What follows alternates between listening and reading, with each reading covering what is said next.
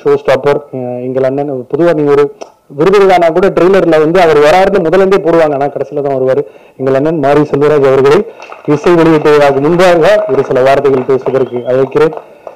மாபெரும் கலைஞன்.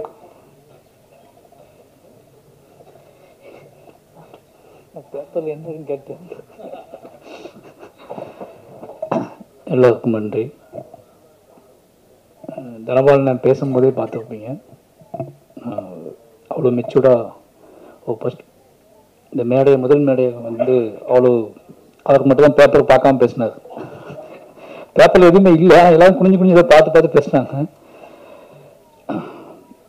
ரொம்ப எமோஷ்னலாக இருக்குது எனக்கு. ஏன்னா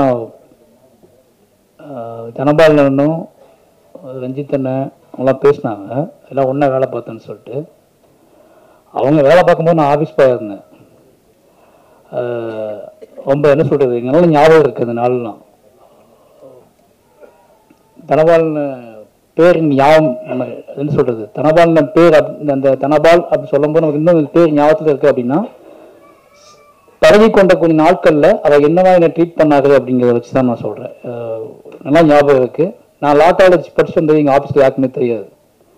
ஃபர்ஸ்ட் ஃபர்ஸ்ட் தெரிஞ்சது தனபாலனுக்கு தான் அது தெரியுமான்னு தெரியல ஒரு நாள் கூப்பிட்டு என்ன நோட்டு நான் சும்மா நோட்டில் கேட்கிட்டே இருப்பேன். அந்த நோட்டை செக் பண்ணி பார்த்துட்டு என்ன படிச்சிருக்க அப்படின்னு கேட்கும்போது நான் லா காலேஜ் பாதிலேருந்து ஓடி வந்துருக்கேன்னு சொன்னேன்.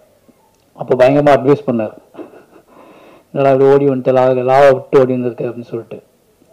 அதுக்கப்புறம் எப்போ ஃபோன் பண்ணாலும் கொஞ்சம் பயமாக இருக்கும். எப்படி பேசுறது அப்படின்னு சொல்லிட்டு பயமாக இருக்கும். ஏன்னா எங்கேயாவது அவர் இப்போ ஒன்று சொல்கிறது இதே வழியில நான் கொஞ்சம் முன்னாடி வந்துட்டு அவர் கொஞ்சம் பின்னாடி வராரு அப்படிங்கும்போது திரும்பி பேசுறதுக்கு நான் அடிக்கடி கால் பண்ணுவேன் மெசேஜ் பண்ணுவாரு எடுப்பேன். ஆனா எனக்கு எப்படி ரிசீவ் பண்ணணும் எப்படி பேசணும் அப்படிங்கிற தயக்கம் இருந்துகிட்டே இருக்கு ஏன்னா பேசிக்காவே நமக்கு வந்து அப்படி ஓகே என்ன சொல்றது அது எமோஷனல் நம்ம நம்ம நம்ம பார்த்து இவங்க இவங்க ஜெயிப்பாங்க இவங்க நம்ம நம்மளை கூட்டிட்டு போவாங்க அப்படின்னு நினைச்ச ஆட்கள்ல ரஞ்சித் அண்ணன் ஜெய தனபாலன் எல்லாம் முக்கியமான ஆட்கள். இவங்க எல்லாம் ஜெயிப்பாங்க நம்ம இவங்க ஷேடோல போயிடலாம் இவங்க நம்மளை கூட்டிட்டு போவாங்க அப்படின்னு ஆசைப்பட்ட ஆட்கள் ஏன்னா நான் ஆபீஸ் பையாக இருக்கும்போது பார்த்து இவங்க படிக்கிற புத்தகங்கள் பார்த்து இவங்க பேசுகிற படங்கள் பார்த்து இவங்க திடீர்னு ஏதாவது படத்தை பற்றி பேசிட்டு இருக்கும்போது தள்ளி நின்று கவனி கவனிச்சு அப்படி கவனிக்கும் போது நமக்கு ஒன்று தோணும்ல. இவங்க கண்டிப்பாக படம் பண்ணுவாங்க. இவங்க தம்- இவங்களை அப்படியே ஃபாலோ பண்ணிட்டு அப்படியே போகணும். இவங்க மூலமாக போயிடணுன்ட்டு அப்படிப்பட்ட ஒரு அண்ணன் வந்து லேட் ஆகுது தாமதமாகுது அப்படிங்கிற நமக்கு ஒரு பெயின் இருக்கும்ல. அந்த அந்த பெயின் எனக்கு இருந்துட்டே இருந்துச்சு. இப்போ நான் அங்கே வரணும் அப்படிங்கிறத விட எப்படி ஹேண்டில் பண்ணுறது எப்படி வந்து நான் இன்ட்ரடியூஸ் பண்ற அளவுக்கு அவர் இல்லை அவர். அவர் வந்து நிச்சயமா சொன்னேன் எனக்கு முன்னாடியே தமிழ் சினிமாவை புரிந்து கொண்டு தமிழ் சினிமாவுக்கு யுத்தத்துக்கு ரெடியான ஒரு ஆள். இன்னும் சொல்லப்போனால் போனா சொன்னார் இப்போ ஏழு வருஷமா இடையில வீட்டுக்கு போயிட்டு கல்யாணம் பண்ணி பிள்ளை பெற்று செட்டில் ஆனதுக்கப்புறம் படம் பண்ணாதான் பெரிய விஷயம். நான்லாம் வந்ததே சரி. திருப்பி போகவே இல்லை. அவர் இடையில இடையில ஒரு அஞ்சு வருஷமா போயிட்டு மதுரைக்கெல்லாம் போயிட்டு அங்க சில செட்டில்மெண்ட்லாம் பண்ண அப்படிதான் வந்துருக்கீங்க அப்பா வந்து வீட்டுக்கு வீட்டை கவனிக்க ஆள் இல்லைன்ட்டு வீட்டை போய் வீட்டை போய் செட் பண்ணிட்டு தான் திருப்பி வந்திருக்கு அதனால தான் லேட் அவர் சென்னையில் இருந்திருந்தாருன்னா அவர் முன்னாடி வந்துருப்பார் ரொம்ப சந்தோஷமா இருக்கு. நான் வந்து நேற்று ராம் சார்ட்ட பேசினேன். மாதிரி தனபாலன் கூப்பிட்டாரு. ஆமாடா எனக்கும் கூப்பிட்டாரா அப்படின்னு சொல்லி. என்ன அப்படின்னா அது அது நேற்று அவர்கிட்ட சொல்லும்போது நான் சொன்னேன் தனபாலனை படம் பண்ணியிருக்காரு சார். ஒரு அவர் இந்த தனபாலெலாம் கேட்டாருன்னு பயமா இருந்துச்சு எனக்கு. அவர் டக்குன்னு வந்து ஆமாடா எனக்கு கூப்பிட்டாருடா நான் வந்து வெளியே இருக்கேன் போக முடியாது எப்படியாவது போயிட்டு வந்துடுறா அப்படின்னு சார் டப்பிங் போயிட்டு இருக்கா அப்படின்னு எப்படியாவது போயிடு அப்படின்னு சொன்னாரு. அவர் அப்புறம் அவரோட வாழ்த்துன்னு சொல்ல சொன்னாரு. ரொம்ப என்ன சொல்றதுன்னா இது எப்படி நான் ரொம்ப ரொம்ப தேங்க்ஸ் சொல்லிட்டே இருந்தார் அண்ணன்.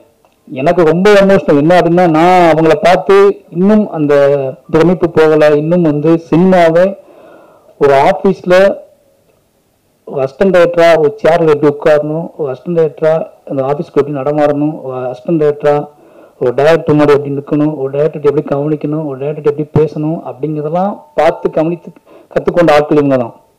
இவங்ககிட்ட இருந்தால் நான் கற்றுக்கிட்ட எல்லாத்தையுமே. இவங்ககிட்ட இருந்தால் நான் திருப்பி வர்றேன் வெளியே.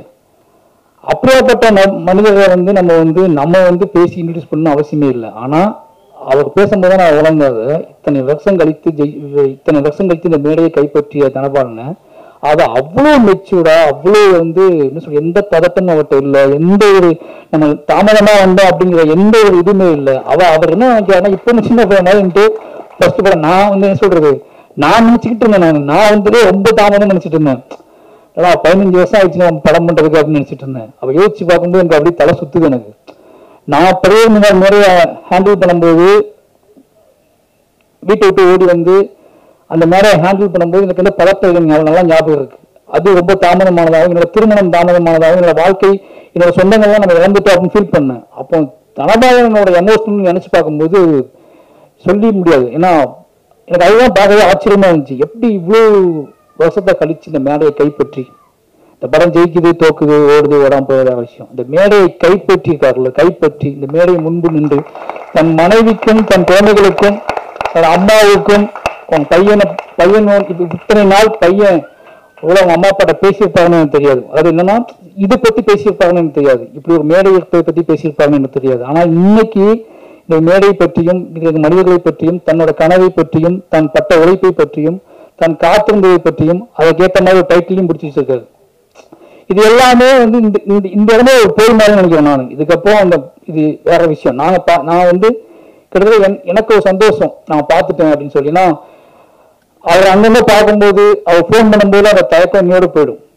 இதுக்கப்புறம் என்ன சொல்றது? ஈஸியா நான் அவர்கிட்ட எனக்கு வந்து ஒரு ஒரு அறிவுரை கேட்கலாம். அவர் எனக்கு சொல்லலாம். ரெண்டு பேர் மாத்தி மாத்தி பேசிக்கலாம். ஏன்னா அந்த தயக்கம் இடையில ஒரு தயக்கம் இருந்துச்சு. அந்த தயக்கம் விடுபட்டுச்சு. அந்த தயக்கம் விடுபட்ட மேடையா இந்த மேடை வந்து முக்கியமான ஒரு மேடையா பாக்குறேன் அதனால அண்ணனுக்கு வாழ்த்து சொல்ற தம்பிலாம் இல்லை. அண்ணன் நிச்சயமா ஜெயிப்பாரு. ஏன்னா இவ்வளவு வருஷம் கழிச்சு உழைச்சிருக்காரு. இவ்வளவு வருஷம் கழிச்சு விடாப்பிடியா தன்னுடைய இலக்கை நோக்கி அடைஞ்சிருக்காரு. அதனால வந்து வெற்றி அப்படிங்கிறது அடுத்தவங்க சொல்றது இல்லை. நாம் நாம் உணர்றது அடுத்தவங்க வந்து நீ ஜெயிச்சிட்டேன்னு சொல்றது இல்லை. நாம் நான் ஜெயிச்சிட்டோம் அப்படின்னு உணர்றது அதை வந்து அண்ணன் உணர்ந்து ரொம்ப நேரம் ஆச்சுன்னு நினைக்கிறேன். அவருக்கு என்னோட வாழ்த்துக்கள். அப்புறம் அந்த டீம் இந்த டீம் பற்றி சொல்லணும்னா ஃபர்ஸ்ட் நான் வரும்போது தான் நினைச்சேன் புதுவாக மேடைக்கு பண்ணோன்னு எல்லா மேடையிலும் பார்த்துக்கணும் நம்ம. எல்- நமக்கு நல்லாவே தெரியும் சினிமாவாங்க எல்லாருக்குமே தெரியும். ஷூட்டிங் ஸ்பாட்டில் எவ்வளோ அடிச்சுக்கோன்னு தெரியும். இங்கே வந்து எல்லாரும் பேசுவாங்க. ஆனால் பயங்கரமாக அடிச்சுக்குவோம். நானும் அப்படிதான். ஆனால் இப்போ மேடையை பார்த்தோன்னே பயங்கரமாக நம்ம பேசுவோம். ஆனால் எல்லாருமே அந்த அந்த அந்த மேடை வந்து அந்த ஆடியோ லான்ச் மேடை அப்படிங்கிறது வந்து எல்லா எல்லாரோடைய அந்த அந்த எல்லா பிரச்சனைகளையும் தீர்த்து வைக்கிற மேடையாக தான் இருக்கும். ஒருத்தருக்கு ஒருத்தர் அவ்வளோ நாள் சொல்லாத உழைப்பை அவ்வளவு நாள் அங்கீகரிக்காத உழைப்பை ஒருத்தருக்கு ஒருத்தர் மாத்தி மாத்தி அங்கீகரிச்சுக்குவாங்க. அதுதான் அந்த மேடையோட பெரிய சிறப்பு. வெற்றி வேலை எப்படின்னு நமக்கு தெரியாது. ஆனா ஆடியோ லான்ச்ல மட்டும்தான் நமக்கு வந்து அவன் அவளை கஷ்டப்பட்டான் அப்படிங்கிறத இன்னைக்கு தான் அஸ்டிமேட் கஷ்டப்பட்டா அப்படிங்கிறது தான் சொல்லி அவரு. ஓகேங்களா?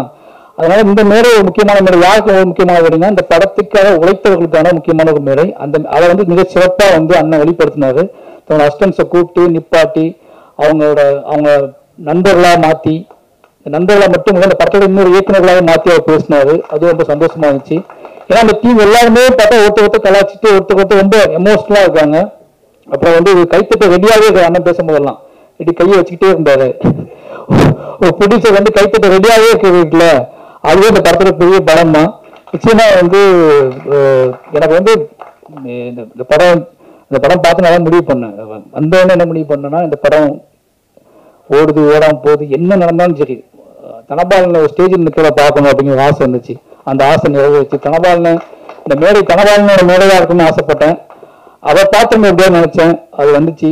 அவருக்கு எல்லா அவர் நினைச்ச கனவுகளை முதல் படியை தொட்டு விட்டார்னால எல்லா அவரை நினைக்கிற எல்லா விஷயமும் அவர் நினைக்கிற மாதிரி நடக்கிறதுக்கு ராம் சார் சார்பாகவும் என்னோட என்னோட சார்பாகவும் என்னுடைய மொத்த டீம் எங்கள் நாங்கள் நிறைய பேர் இருந்தோம். நிறைய பேர் இருந்தாங்க எனக்கு முன்னாடி. அவங்க எல்லா ஏன்னா அவர் அதை பத்திலாம் பேசல எமோஷனலா அது ரஞ்சித் அண்ணா பத்தி பேசல. ஆனா அது எமோஷனல் காலகட்டம் இருக்கு. ஒரு பதினாறு வருஷம் டிராவல் பதினாறு பதினேழு வருஷம் போனேன். எனக்கு பதினாறு வருஷம் அப்படிங்கிறது அவருக்கு இருபத்தி இருபது வருஷம் போனேன். அதனால வந்து இப்படி ஒவ்வொருத்தரா வெளி வெளியே வந்துகிட்டு இருக்கோம். ஒவ்வொருத்தரா வர்றோம். இவ்வளவு தா தாமதமாகுது. தாமதங்கள் வந்து உங்களுக்கு நல்லா தெரியும். அது பட்டை தீட்டுற மாதிரி தான். நிச்சயமா அது வந்து முக்கியமான படைப்புகளை கொடுப்பதற்கு தான் அவர் நினைக்கிறேன். அது ஏன்னா அவர்- கூப்பிட்டுருக்க டேரக்டர்ஸ் தான் தெரியும் உங்களுக்கு. இப்போ அயலி டேரக்டர்ஸ் டாடா டேரக்டர்ஸ் தான் கூப்பிட்டுருக்காருன்னா அவர் ஒரு முதல் படம் முதல் படம் எடுக்கிற டேரக்டர்ஸ் சக்ஸஸ் ஆகும்போது அவ்வளோ சந்தோஷப்பட்டு பண்ணிட்டு ஏன் ஐலி டேரக்டர் கூப்பிட்டுருக்கா ஏன் டாடா டேரக்டர் கூப்பிட்டுருக்கா ஏன் மற்ற டேரக்டர் கூப்பிட்டுருக்காங்க இவங்களோட வெற்றியை வந்து தனபால கொண்டாடி இருக்காரு அப்படிங்கிறதான் என்னால் புரிஞ்சிக்க முடியுது ஏன்னா அது அது ஃபர்ஸ்ட் படம் பண்ண டேரக்டருக்கு வந்து அது பயங்கர எமோஷனலாக இருக்கும். அது ஒரு சின்ன படம் எடுத்து ஜெயிச்ச டேரக்டரை பார்த்தோன்னே நமக்கு அது அதுதான் பெரிய இன்ஸ்பிரேஷனாக இருக்கும். ஒரு சின்ன படம் எடுத்து டாடா ஜெயிச்சிருச்சு ஒரு சின்ன ஓடிடியில் வந்து அயலி எல்லாம் கொண்டாடுறாங்க ஒரு சின்னதாக எடுத்து இந்த படங்கள் வெற்றி அடையுது அப்படிங்கும்போது அந்த அந்த இயக்குனரோட உழைப்பு அதுதான் ஒரு பெரிய இன்ஸ்பிரேஷன் அப்படின்னு இருக்கு அதனால அவங்க கண்டிப்பாக நம்ம மேடைக்கு வேணும் அப்படிங்கிறது இவர் சினிமா கொஞ்சம் நேரம் வேற அவங்க சினிமா கொஞ்சம் நேரம் கண்டிப்பாக வேற தான் இருக்கும். ஆனால் அவங்களை முன்னிறுத்தி தன்னை வெளிப்படுத்தி இந்த மேடையை கைப்பற்றிருக்காங்க அப்படிங்கிறது ரொம்ப சந்தோஷம். அவருக்கு என்னோட வாழ்த்துக்கள். நிச்சயமா என்ன சொல்றது? எல்லா தயக்கங்களும் உடைப்பட்டு இதுக்கப்புறம் ஒவ்வொருத்தரும் அவ்வளவு நினைக்கிறேன். நிச்சயமா அவர் ஜெயிக்கணும். அவர் ஜெயிப்பாரு. நன்றி. எல்லாருக்கும் வணக்கம். நான் வந்து சார் மாதிரி சொல்லுற சார்லாம் இருக்காங்க. ஒரு ஸ்டூடெண்ட் மாதிரி அமைதியாக இருந்துட்டு போயிருந்தேன் நினச்சேன். பக்கத்தில் தான் கூப்பிட்டு உட்கார வச்சு தாஜா பண்ணிட்டு இருந்தேன். எதுவும் சொல்லிடாதீங்க அப்படின்னு. ஆனால் எல்லாத்தையும் போட்டு உடச்சிட்டாரு. டேட் வாங்கியிருந்தோம். அது நடக்கும். தெரியும். டிஃபிகல்ட்டிஸ் தெரிஞ்சுக்கணும் நீங்களும். வன்மம் தான் வச்சிருக்காங்களா வேற ஒன்றும் வச்சிடல. நான் நிறைய அதான் பக்கத்தில் கொஞ்சம் ஒரு ஒரு பாயிண்டாக போயிட்டு இருக்கும்போது இல்லை பாயிண்ட் போயிடுச்சு பாயிண்ட் போயிடுச்சுன்னு சொன்னார். எனக்கான பாயிண்டை மட்டும் நல்லா வன்ம கூட்டம்லாம் சேர்த்து வச்சிருந்திருக்காரு. எல்லாருக்கும் முதல்ல வாழ்த்துக்கள். எனக்கு ஒரு ஒரு புது புது முயற்சிகளுமே வந்து அடுத்து இன்னும் பல பேருக்கான வாய்ப்புகளை வாங்கி தரும். இப்போ நம்ம ஒன்று ட்ரை பண்ணுறோம் அப்படின்னா நமக்கு முன்னாடி அவங்க ட்ரை பண்ணது தான் நமக்கான பாதையாக இருக்கும். அந்த வகையில் நம்ம ரணசிங்கம் சார் டைரக்டர் இப்போ டாடா இப்படி ஒரு ஒருத்தவங்களும் புது புது முயற்சிகள் எடுத்துகிட்டு இருக்கும் பொழுது தான் வந்து ஆடியன்ஸ்க்கு வந்து நிறைய வெரைட்டிஸ் கிடைக்கும். அப்போ தான் வந்து வேறு வேறு விஷயங்களுக்கான பிளாட்ஃபார்ம் உருவாகும். அதே மாதிரி இதுவும் வந்து புது முயற்சியாக இருக்குது. இது இன்னும் நிறைய பேருக்கான வாய்ப்புகளை இது வாய்ப்பு ஏற்படுத்தி கொடுக்கணும்னு நான் வேண்டிக்கிறேன். அடுத்து விவேக் பிரசன்னா சார் ஃபர்ஸ்ட் ஏன்னா இதுக்கு வந்து நான் என்னோட படம் ஸ்க்ரீனிங் இருக்கும் பொழுது வந்து நாங்கள் வருவாங்க அப்படிங்கிறது எனக்கு தெரில ஃபர்ஸ்ட் எனக்கு சர்ப்ரைஸ் கொடுத்தது அவங்க தான். லிங்கா வர சொல்லியிருந்தாங்க. வந்து பார்த்துட்டு அவ்வளோ நேரம் அதை பாராட்டி பேசினது. அதுதான் வந்து அடுத்த லெவலுக்கு கொண்டு போகும் ஏன்னா அவங்க ஒரு அறிமுகமான ஒரு நபர். அறிமுகமான நபர்கள் வந்து ஒரு புது ப்ராடக்ட் ஐடென்டிஃபை பண்ணுறாங்க அப்படிங்கிறது வந்து அது ரொம்ப பெரிய முக்கியம். ஏன்னா மக்கள்கிட்ட கொண்டு போய் சேர்க்கறதுக்காக தான் எல்லாருமே போராடிட்டு இருக்காங்க. மக்கள்கிட்ட சேர்ந்துட்டு அவங்க அதை எடுத்து என்ன விதத்தில் வேணால் கொண்டாடிக்கலாம். அது அவங்களோட ஒப்பீனியன் பட் மக்கள்கிட்ட கொண்டு போய் சேர்க்கணும். அந்த வேலையில் எனக்கு எனக்கு ரொம்ப உதவிகரமாக இருந்தவர் விவேக் பிரசனா ப்ரோ அதனால அவங்களோட ப்ராடக்ட் அவங்களோட ப்ராஜெக்ட் அப்படின்னு தெரிஞ்சோன்னு எனக்கு ரொம்ப ஹாப்பியாக இருந்தது. அப்புறம் தனபாலன் சார் வந்து ஃபுல்லாக சர்ப்ரைஸாக வச்சிருக்காரு என்னை வந்து இப்படி கூப்பிடுவாரு அப்படின்லாம் எனக்கு தெரியாது. ஜஸ்ட் ஃபோன் பண்ணி பிரதர் இந்த நீ வரீங்களா? அப்படின்னாரு. விவேக் பிரசனா சார் ப்ராஜெக்ட்னோட கண்டிப்பாக நான் வந்துடுறேன் பிரதர் அப்படின்னேன். அடுத்து பார்த்தீங்கன்னா வாட்ஸ்அப்பில் ஒரு இது அனுப்புறாரு. பார்த்தா எல்லா டைரக்டர்ஸோட பேரும் இருக்குது இது என்ன ப்ரோ இவங்க பேர் ரொம்ப என் பேரை சேர்த்து போட்டுருக்கீங்க. இதெல்லாம் பண்ணாதீங்க ப்ரோ அப்படின்னு சொன்னேன் இல்லை இல்லை வந்துருங்க அப்படின்னாரு. வந்து எனக்கெல்லாம் மாறி செல்வாரு சார் நிற்கிறாங்க எனக்கு அது பெரிய சர்ப்ரைஸ் ஏன்னா ரொம்ப காலமாக அவங்கள பார்க்கணும்னு நம்ம வெயிட் பண்ணிட்டு இருக்கிறோம். ஸோ அவங்க தான் வந்து முன்னாடி. நான் பல இடங்கள்ல சொல்லியிருக்கேன். இது இப்படி சென்சேஷனாக வந்திருக்கு அயலி வந்து இந்த மாதிரி ஒரு பேசாத விஷயத்த பேச முடியுது அப்படின்னா Mariselva sir Vetrimaaran sir Ranjith sir அவங்களுடைய அவங்களுடைய முயற்சிகள் அவங்களுடைய எடுத்து வைக்கிற ஸ்டெப்ஸ் தான். அவங்க ரொம்ப அவங்க ஆக்சுவலாக ராஜபாட்டை தான். அவங்க போட்டது எல்லாமே ராஜபாதைகள் தான். நாங்கள் சைடில் அப்படியே ஓரமாக அப்படியே பயணிச்சிட்டு இருக்கிறோம். ஸோ இந்த எல்லா முயற்சிகளுக்கும் ஒரு சப்போர்ட் தேவைப்படும். அதுதான் கொண்டு போய் சேர்க்கும். அந்த வகையில் இதை சப்போர்ட் பண்ணி எல்லாருக்கும் இங்கே கொண்டாந்து நிப்பாட்டி இந்த ஸ்டேஜ் வரைக்கும் கொண்டாந்து நிப்பாட்டின அந்த team members and music director everyone எல்லாருக்கும் என்னுடைய வாழ்த்துக்கள் இந்த பாதையும் ராஜபாதையாக வாழ்த்துக்கள் நன்றி. எல்லாருக்கும் வணக்கம். மேடையில் இருக்க எல்லாருக்குமே வணக்கம். ப்ரெஸ் மீடியா எல்லாருக்கும் வணக்கம். முதல்ல வந்து நான் தேங்க்ஸ் சொல்லிக்கிறேன். ஏன்னா ஏறக்குறைய யாரெல்லாம் நான் ரசித்து ஒரு ஆடியன்ஸாக உட்காந்து சினிமா பார்த்தனோ அவங்க கூடலாம் என்னை உட்கார வச்சுருக்காங்க. ஸோ ப்ரொடியூசர்ஸ்க்கும் டைரக்ஷன் டைரக்டருக்கும் என்னோட தேங்க்ஸ் முதல்ல. இந்த நிகழ்ச்சியோடைய நாயகன் சொல்லக்கூடிய மியூசிக் டைரக்டர் சாங்ஸ் ரொம்ப சூப்பராக இருக்குது கதையொட்டி ரொம்ப அழகாக இருக்குது ரசிக்க முடிஞ்சது. இன்னொருத்தர் இருக்கார் எடிட்டர் ஏன்னா இது ஒரு ட்ரெய்லர் லான்ச்சும் கூட இது. ஸோ ஒரு ட்ரெய்லருக்கு எடிட்டர் ரொம்ப முக்கியம். ஸோ அவரும் ரொம்ப அழகாக கட் பண்ணியிருந்தீங்க. ஸோ உங்களுக்கும் வாழ்த்துக்கள். ரொம்ப அது என்னுடைய ஆடியோ லான்ச்சுக்கு வந்த மாதிரி இருக்குது ஏன்னா இது ஏறக்குறைய நான் பார்த்துருக்கேன். இதே மாதிரி ஒரு ஆடியோ லான்ச் பார்த்துருக்கேன். ஸோ யாரும் தனித்தனியாக இல்லை எல்லோரும் ஒன்றா இருக்கீங்கன்றது ரொம்ப சந்தோஷமாக இருக்குது அதை பார்க்கும்போது. ப்ரொடியூசர்ஸ் அகைன் ப்ரொடியூசர்ஸை பற்றி திருப்பி மென்ஷன் பண்ணும். ஒரு ஃபஸ்ட்டு படம் ஒரு டேரக்டருக்கு எவ்வளோ முக்கியன்றது தெரியும். ஸோ அங்கேருந்து தான் அவர் எவ்வளோ உயரத்துக்கு போக போகிறாரு ஏறக்குறைய ஆடியன்ஸ்க்கு முன்னாடியே அந்த டேரக்டர் ரெக்கக்னைஸ் பண்ணுறது ப்ரொடியூசர்ஸ் தான். ஸோ இந்த ப்ரொடியூசர்ஸ்க்கு வாழ்த்துக்கள். ரொம்ப நன்றி. என்ன மாதிரி இன்னொரு டேரக்டர் ஐடென்டிஃபை பண்ணியிருக்கீங்க அண்ட் uh, ரொம்ப நர்வஸாக இருக்கு எனக்கு. தனபாலன் சார் இங்கே இருக்கார். ஸோ ரொம்ப முக்கியமான ஒரு இன்ஸ்டியூட்லேருந்து வராரு. ராம் சாரோட இன்ஸ்டியூட்லேருந்து வராரு அவர். மாரியண்ணனும் இருக்காருங்க இங்கே. நான் இயக்குனர் ஆகிறதுக்கும் மறைமுகமாக ராம் சார் ரொம்ப முக்கியமான ஒரு காரணம். ஸோ உங்களுக்கு வாழ்த்துக்கள்னா அதாவது உங்களுடைய வெற்றின்றது உங்களோட வெற்றியாக இருக்காது. நம்மள மாதிரி முதல் பட இயக்குனர் பண்ணுற எல்லாருடைய வெற்றி இது. ஸோ நிறைய ஒரு பெரிய சேனல் ஓப்பன் பண்ண போகிறீங்க இந்த மேடையில் நானும் இருக்கிறது ரொம்ப சந்தோஷமாக இருக்குது அகைன் ப்ரெஸ் அண்ட் மீடியா இதே ஒரு பிரசாத் லேபில் தான் என் லைஃப் மாறுச்சு. ப்ரெஸ் மீடியா அவங்க பார்த்ததுக்கப்புறம் தான் என்னுடைய லைஃப் மாறிச்சு.